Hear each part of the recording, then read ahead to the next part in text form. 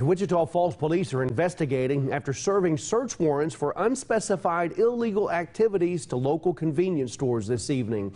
Both Tammy's and also Convenient Food Mart, which is also known as Lucky's Number 7 at Ray Road and Southwest Parkway, had crime scene tape up around the gas pumps, with customers being told both stores were closed. Just before 6, police were seen taking out eight-liner machines there. Lucky's number seven has been temporarily closed before after warrants were served in 2013 and 2016.